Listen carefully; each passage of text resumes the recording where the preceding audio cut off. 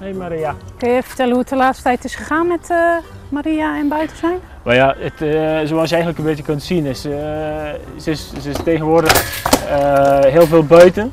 Wat ze natuurlijk eerst nieuw was. Ze had, ze had heel veel moeite om, om buiten, pas op, ze had Ja. een stokje. Dat doen chimpansees nu eenmaal. Hey, maar een beetje wel? Best wel gevaarlijk nog zo'n vlog maken, Petra. niet? Ja, je moet wel een beetje eh, chimpansee in de gaten houden. Voor je het weet heb je een, eh, een stok in je oog. Ja, dit is Maria, onze eh, vloggende chimpansee.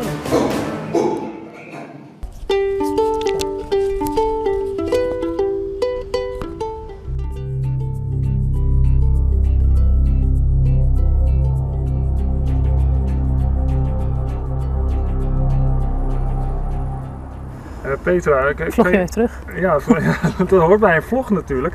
J- j- jullie maken een vlog over, eh, over Maria. Waarom? Het verhaal van Maria is eh, best wel eh, bijzonder en aangrijpend. Ehm, en we wilden graag eh, daarom haar verhaal ook eh, aan, eh, aan mensen thuis, aan het grote publiek vertellen. En dan vooral ook het proces wat ze doormaakt om hier bij Stichting Aap weer chimpansee te worden. Hé dametje, kijk eens even. Hallo, goedemorgen. En we hebben gekozen om dat met een vlog te doen, omdat je met een vlog eh, kun je ja, wat humor en luchtigheid eh, erin brengen.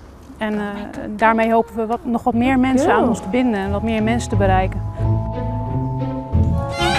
Goed zo, ja, dit klikt even. Maar meer dan de helft zit erin. Oh je?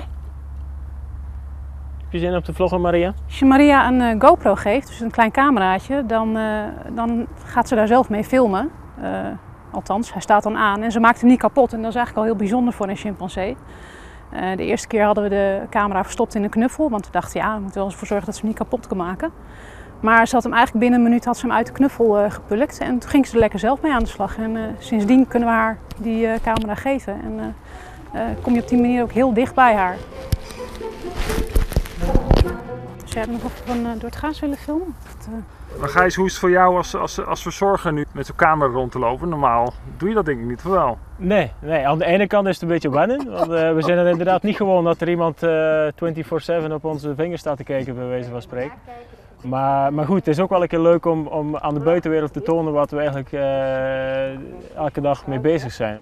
Alle uitslagen van het eerste bloedonderzoek waren prima. Maria is ondertussen een, een bekende chimpansee. Ben jij al een beetje beroemd eh, aan het worden of niet? Ik heb nog geen handtekeningen hoeven te zetten. Eh, ik heb ook nog geen eh slepjes in de bus gekregen of zo. Dus, maar goed, het kan nog komen. Misschien via Omroep Flevoland eh, heb je, is er nog een groter bereik.